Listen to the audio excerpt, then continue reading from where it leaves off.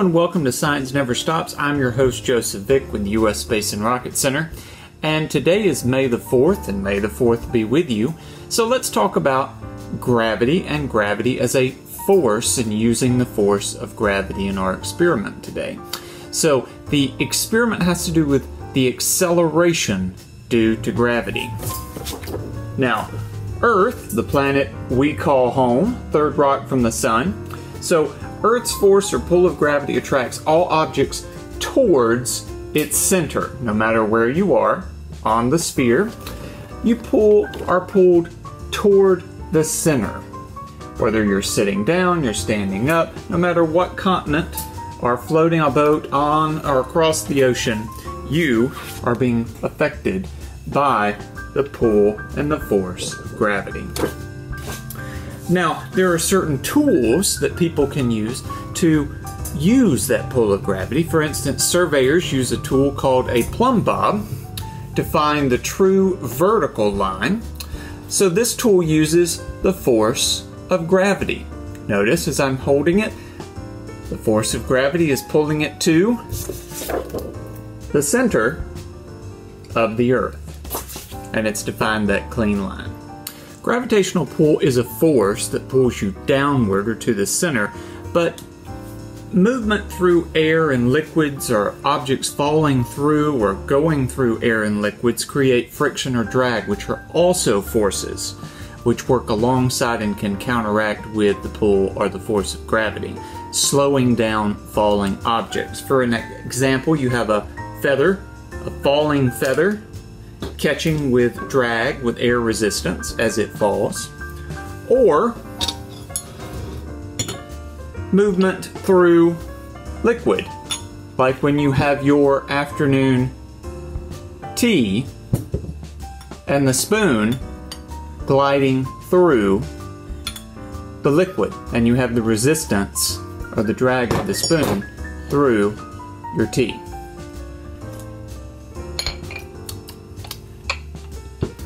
Now, these falling objects like the feather or a skydiver coming from a plane will continue to accelerate or change their speed over time as they fall due to the force of gravity pulling them downward. Now, on Earth, that acceleration is a continuous 9.8 meters per second squared. Now, there was a famous Italian scientist named Galileo, and he demonstrated and proved that all objects fall the same distance in the same time. This was also tested and proven on the moon during the Apollo 15 mission. And it was proven that also in a vacuum, heavy and light objects fall at the same speed. For example, on the Apollo 15 mission, you had the drop of a geological hammer and a falcon feather. That in the vacuum of space, standing on the moon, astronaut David Scott dropped them. They landed at the same time because there was not the interference due to drag from the feather and the atmosphere that was lacking as you have on Earth atmosphere that affects the feather falling. You didn't have that variable on the surface of the moon. So they fell and they hit the surface at the same time.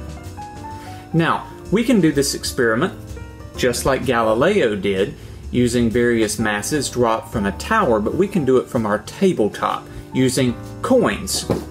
So I have pulled from my coin collection various coins, my very proud Space Camp alum, Space and Aviation Challenge alum coin. I actually have two of those side by side that I want to test to see as they drop due to the acceleration due to gravity. But you don't have to have these different coins. I also have my STS 127 Endeavour coin that I went and saw launch many years ago, and my Apollo 11 commemorative coin side by side. And you can also use dollar coins. I have one of my favorite presidents, President Jefferson, fellow redhead, and my Lady Liberty silver dollar in the year that I graduated high school. Congrats to all our seniors graduating in May. And international coin drops. So I have here my one of my Susan B. Anthony coins, which I like a lot because on the back it happens to have the mission patch for Apollo 11, where we went for all mankind. The eagle has landed next to Her Majesty Queen Elizabeth II with the Royal British Pound. So take these different coins. You could also have quarters, nickels, dimes. Arrange them on a tabletop, and you'll need a ruler, something that has a straight edge. You could use your hand if you wanted to, uh, so that you can align them on the table, slide them off so that you have the equal playing field of them dropping at the same time. So let's set up our experiment and test the acceleration due to gravity. Place two different coins near the edge of a table and push them over the edge carefully using the ruler so that both start falling at the same time. Check to see if they land at the same time. They will land at the same time because the differences in their masses does not affect their acceleration.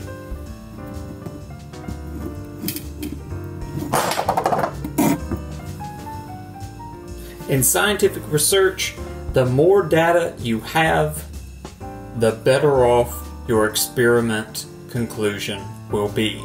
So I encourage you to take all your different coins of all various sizes and shapes and to test over and over to see how many times with different size coins, larger versus smaller, large versus large, medium versus medium, and just mix them up. So do these experiment drops at different heights. Do them higher or lower. So see what kind of results you can get and see that you have the consistency of your coins hitting and falling toward the earth all at the same time. And remember, science never stops.